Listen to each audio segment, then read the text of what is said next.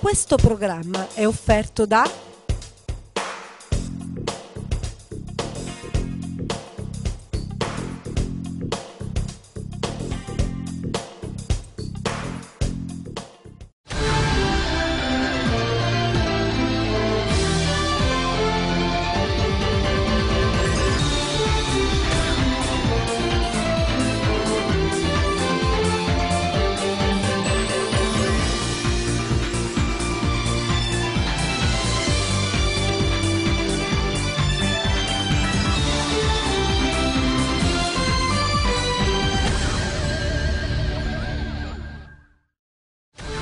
Palermo. Oggi i funerali di Nike, la donna morta da due anni in un frigorifero.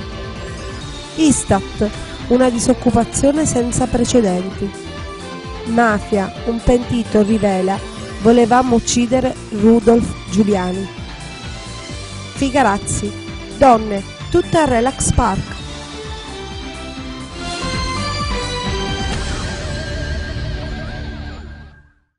Palermo. Dopo due anni in un frigorifero, oggi i funerali di Nike. Finalmente avverrà oggi la sepoltura della ventenne nigeriana trovata morta nelle campagne misilmeresi il 2 dicembre 2011. Un uomo, dopo averla caricata sul suo furgone e portata a Misilmeri, l'ha uccisa nelle campagne del paese. Dell'omicidio fu accusato un operaio di 58 anni di Belmonte Mezzagno, che alcuni mesi dopo l'arresto si suicidò in carcere. Da allora il corpo è rimasto in una cella frigorifera dell'Istituto di Medicina Legale e per lentezze burocratiche non è mai stato seppellito. La sua era stata una vita di sfruttamento che a soli vent'anni l'aveva già segnata profondamente. Nike voleva migliorare la sua vita sposandosi, abbandonando il marciapiede, il parco della favorita nello specifico, dove si prostituiva. È stata uccisa, bruciata e trovata carbonizzata dai carabinieri, ma nemmeno da morta ha trovato pace. La sua tomba è stata un frigorifero dell'Istituto di Medicina Legale del Policlinico di Palermo. Fino ad oggi mai nessuno ha potuto portare un fiore a Nike Favur and Enkl. Una morte che sconvolse anche la comunità nigeriana che organizzò una manifestazione per dire basta ai soprusi e alla tratta delle donne che vengono dall'Africa. Nessuno ha mai chiesto in Nigeria che la salma tornasse a casa. Nike era sola al mondo. Dedicheremo finalmente delle giuste parole a questa ragazza, spiega Don Enzo Volpe della parrocchia di Santa Chiara, all'albergheria dove in mattinata si è svolta la cerimonia. A celebrare il funerale, prosegue, sarà il pastore della comunità nigeriana, padre Vivian. A pochi giorni dalla festa delle donne c'è poco da festeggiare, ma tanto di cui prendere coscienza. Istat, tasso di disoccupazione senza precedenti. Sono più di 3 milioni le persone senza lavoro. 700.000 sono giovani di età compresa tra i 15 e i 24 anni. Quello del 2013 è il tasso più alto, raggiungendo così quello del 1977. I giovani in cerca di lavoro sono 690.000. A gennaio, infatti, il tasso di disoccupazione è balzato al 12,9%, rialzandosi di 0,2 punti percentuali su dicembre e di 1,1 su base annua. I disoccupati sfiorano i 3,3 milioni. Nel 2013 gli occupati sono diminuiti di 478.000. A rivelarlo è l'Istat, che identifica il 2013 come l'anno peggiore in assoluto. Tra il 2008 e il 2013, gli anni della crisi, si contano 984.000 nuovi disoccupati. I giovani, nel frattempo, cercano di trovare un'occupazione che permette l'esplicitarsi delle proprie attitudini, combattendo così l'Italia dei mestieri, instaurando quella delle vocazioni.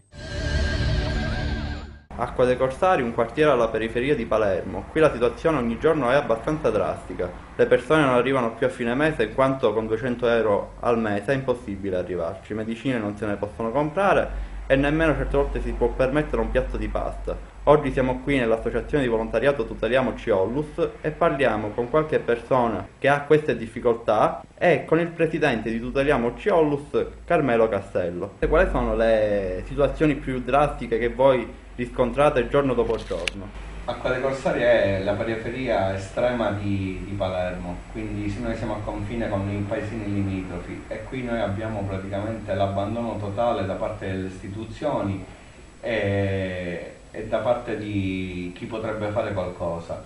Qua praticamente ogni giorno vengono decine e decine e decine di casi dove eh, persone non possono più mangiare, persone che dormono in macchina, persone che non si possono più curare, bambini che sono denutriti, eh, il livello culturale si è abbassato notevolmente eh, e la maggior parte di queste persone sono persone che lavorano e nonostante lavorano non riescono, non riescono a, completare il mese perché i soldi non arrivano neanche al giorno 15 pagando l'affitto, pagando le tasse, pagando le bollette e pagando tutto quanto noi cerchiamo di aiutarli, noi siamo un gruppo di ragazzi che ci siamo messi in gioco e cerchiamo di aiutare il prossimo.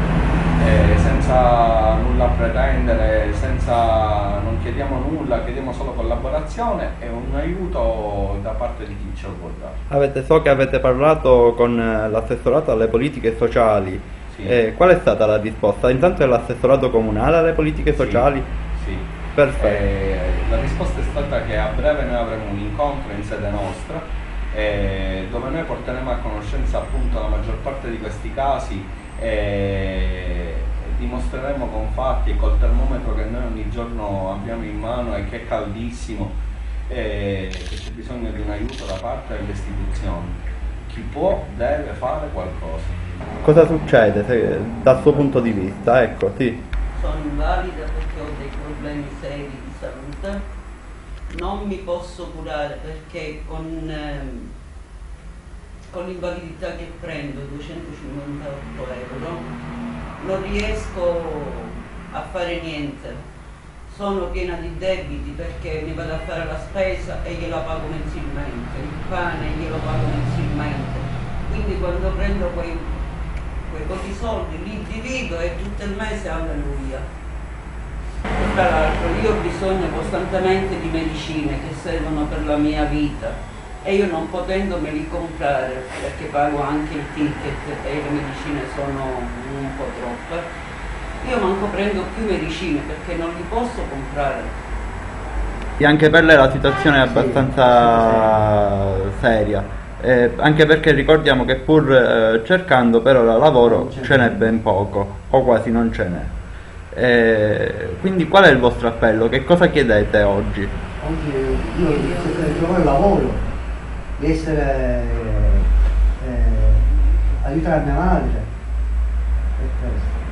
Come abbiamo potuto capire, oltre alla carenza di denaro, la gente reclama la propria dignità perché un uomo, non essendo autosufficiente anche economicamente, è privo delle forme più basilari della propria dignità. Messina, arrestati gli svaligiatori di ville. In tre anni aveva svuotato decine di case di facoltose famiglie messinesi con un bottino di oltre mezzo milione di euro. È questo ciò che ha compiuto la cosiddetta banda dei ladroni messinesi. I nove malviventi, tra cui anche un agente, avrebbero compiuto furti in varie case e ville di famiglie facoltose, portando via oggetti preziosi, mobili antichi e grandi quantità di denaro. I ladri erano ormai altamente specializzati, oltre che nell'eludere con facilità sofisticati sistemi di sicurezza, anche nello scassinare svariati tipi di cassaforti forti. Addirittura, dopo l'ennesimo colpo, si sono firmati, lasciando un bigliettino con su scritto il re delle casseforti. Le indagini, coordinate dal sostituto procuratore Anna Maria Arena, sono scattate il 5 agosto 2010, quando Antonio Bonanno, Stellario Fusco e Filippo Fusco furono arrestati in flagranza di reato e da qui gli inquirenti sono risaliti all'intera organizzazione criminale, con altre 10 persone indagate.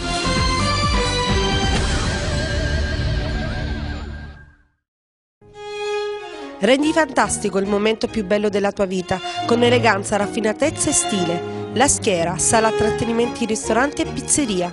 Contrada piano di scala a Corleone, strada statale 118, chilometro 4500, telefono 091 8467 529.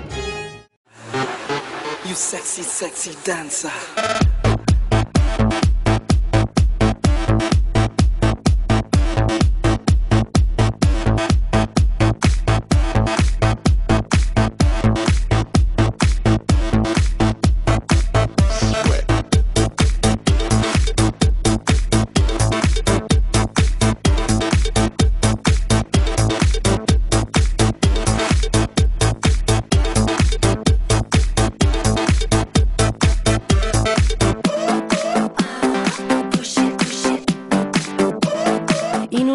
Ancora più glamour, Rinnova il tuo look da Salvo Militello Parruccheria. Via Alongi 16, Ficarazzi, Palermo.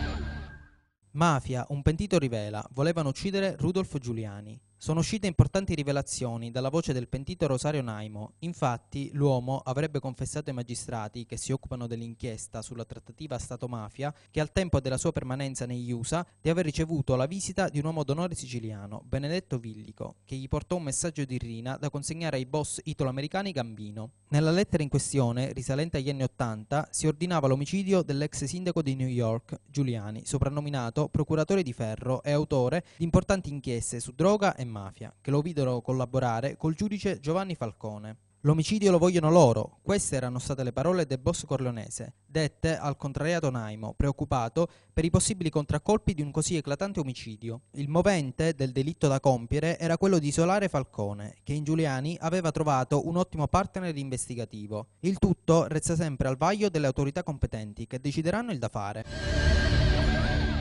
Palermo. Ars, passi avanti sulle riforme delle province. È stato approvato dalla maggioranza dell'Assemblea l'emendamento secondo il quale saranno i consiglieri dei comuni aderenti ai consorsi che sostituiranno le province regionali. Ad eleggere i presidenti dei consorsi stessi, scelti tra i sindaci facenti parte dell'Assemblea, che dovranno essere eletti non solo dai primi cittadini, ma anche da tutti i consiglieri comunali dei comuni coinvolti, evitando così il ricorso alle urne. Il provvedimento prevede inoltre che la Giunta sia composta dal Presidente e da un numero massimo di otto assessori nominati dal Presidente fra i componenti dell'Assemblea del Consorzio. Per il Presidente della Regione Crocetta questa norma avrà un ruolo di mediazione per venire incontro alle richieste delle opposizioni, ma l'opposizione insorge, definendo il provvedimento incostituzionale, giudicando negativo l'allargamento del voto anche al resto della Giunta.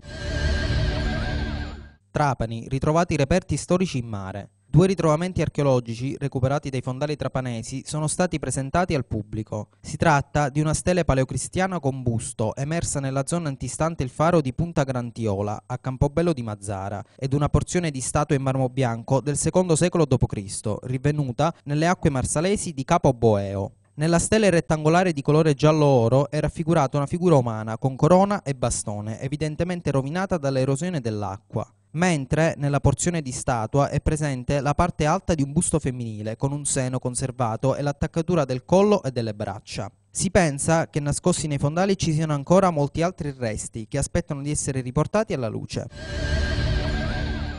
Dopo l'apertura del punto vendita IKEA a Pisa, le affermazioni di Valerio Di Bussolo, responsabili delle relazioni esterne del colosso scandinavo, fanno sperare ad un altro punto vendita IKEA in Sicilia e nello specifico a Palermo. L'operazione è in corso di trattative da mesi, quasi un anno. I vertici italiani ed europei IKEA sono già venuti più volte nel capoluogo siciliano, incontrando sia l'assessore comunale di Marco che gli uffici tecnici competenti, a cui hanno già presentato i progetti per la realizzazione dello stabilimento. L'area individuata sembrerebbe essere limitrofe al centro commerciale Forum.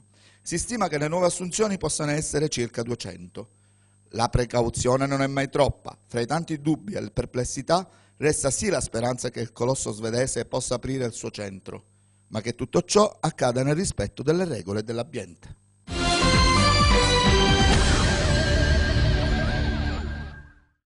La Sicilia è una terra che merita di essere raccontata, i siciliani un popolo che merita di essere ben informato. La Sicilia e i siciliani avranno quello che meritano. E questo è lo slogan del nuovo portale di informazione trinacrianews24.it. Il sito sarà online da mercoledì 5 marzo. Corrispondenti da tutta la Sicilia. Notizie sempre aggiornate su sport, spettacolo, politica, attualità. Un portale di informazione costituito da giovani universitari uniti non solo per la passione per il giornalismo, ma da un profondo senso civico che li porta verso il bisogno di raccontare la propria terra. Canale Canale 8 Palermo sarà media partner ufficiale. Trinacria News 24.it sta arrivando. Noi siamo pronti. E voi? You sexy, sexy dancer.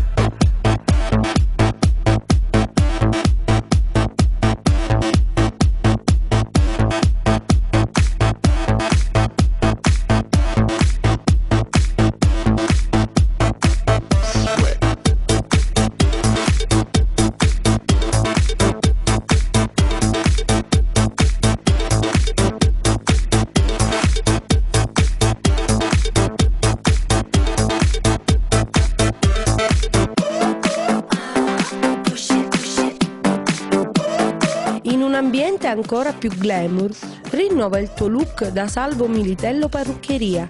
Via Alongi 16, Ficarazzi, Palermo.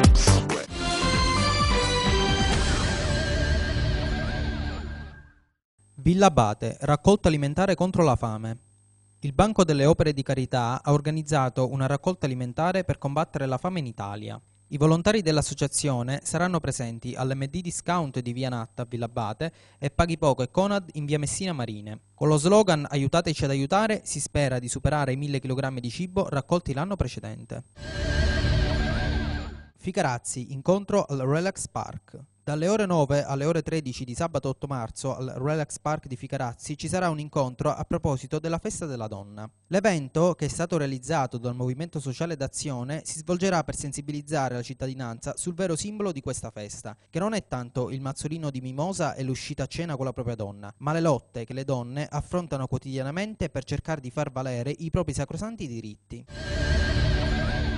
Villabate, incontro La donna nell'arte. Il comune di Villabate invita tutta la cittadinanza all'incontro La donna nell'arte, che si svolgerà in biblioteca comunale lunedì prossimo alle 17.30. L'evento, moderato da Chiara Giordano, sarà curato dal professore dell'Università Pontificia Urbaniana di Roma, Rodolfo Papa. Interverranno il dirigente all'assessorato alla sanità Giacomo Scalzo e il vice sindaco con delega alla cultura Francesco Gio si spera in una folta partecipazione.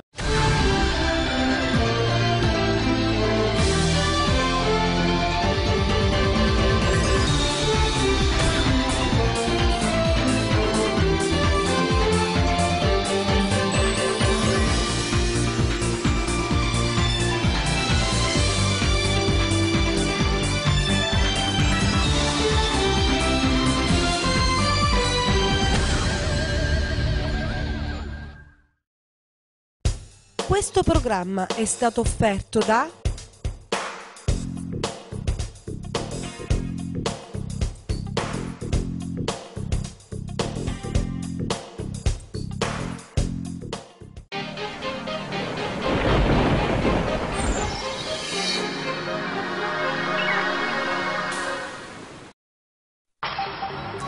caro saluto a tutti voi amici di ilmeteo.it, previsioni per venerdì 28 febbraio 2014, tempo in peggioramento al nord per la formazione di un centro depressionario, pioggia anche al centro, vediamo un po' che cosa ci dice il dettaglio grafico a questo punto. Al nord nuvolosità diffuse, inizialmente deboli piogge sparse, poi nel corso del pomeriggio il tempo peggiora con precipitazioni che diventano più diffuse e moderate su gran parte delle regioni. Al centro molto nuvoloso ovunque, dapprima piogge in Toscana, poi peggiora anche sul Lazio e Sardegna occidentale con precipitazioni via via più moderate. Verso sera piogge forti sull'alta Toscana anche con temporali, cattivo tempo anche sul Lazio, specie nell'area centro-meridionale con temporali, più asciutto invece sui versanti adriatici. Vediamo al sud di primo mattino piogge sulle coste tirreniche e calabresi, ma eh, fortunatamente migliora cielo poco parzialmente nuvoloso altrove. Verso sera arrivano delle piogge anche sul nord